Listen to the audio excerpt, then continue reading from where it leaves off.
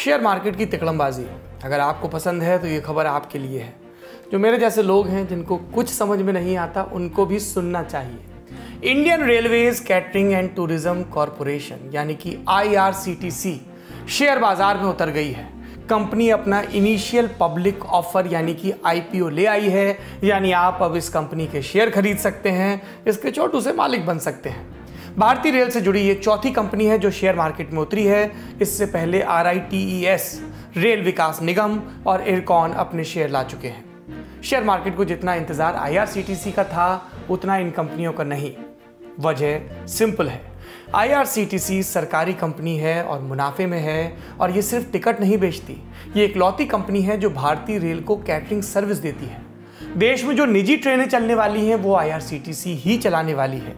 इसलिए निवेश करने के हिसाब से ये एक मज़बूत कंपनी मानी जाती है। और अब जाकर वो दरवाज़ा खुला है, जिसके ज़रिए आम लोग इसमें निवेश कर सकते हैं। कंपनी जितने बेचना चाहती है, उसके 60 फ़ीसदी से ज़्यादा के लिए आवेदन आ चुके हैं। और एक दरवाज़ा हम आपके लिए खोल रहे हैं। आसान भाषा में बताएँगे आईआरसीटीसी के शेयर को लेकर इतना भब्बड़ क्यों है?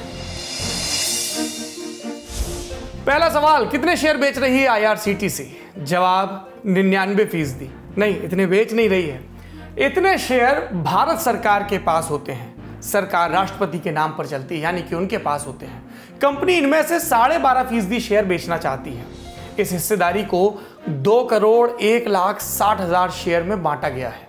हर शेयर की कीमत 315 से 320 के बीच रखी गई है। अनुमान है कि कंपनी इन शेयर्स को बेचकर तकरीबन 645 करोड़ रुपए जुटा लेगी। कंपनी पहली बार स्टॉक मार्केट में उतरी है, इसलिए शेयर बिक्री को इनिशियल पब्लिक इशू कहा जा रहा है। आप कैसे खरीद सकते हैं आईआरसीटीसी के शेयर? अगर आपकी मर्ज़ी हो तो।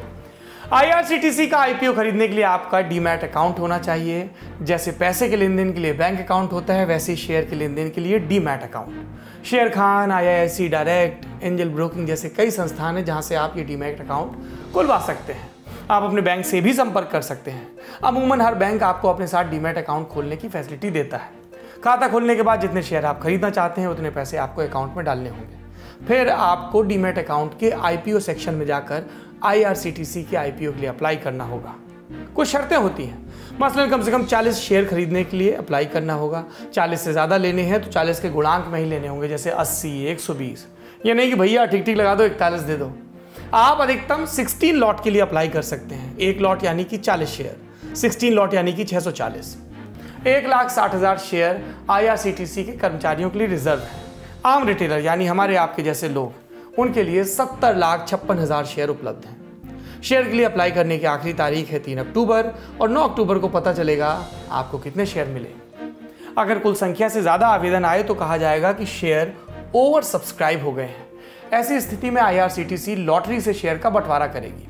लॉटरी में आपको जितने मिले वो आपके, आवेदन से कम मिले तो बचा हुआ पैसा आपकी डीमेट अकाउंट में 10 अक्टूबर को वापस आ जाएगा।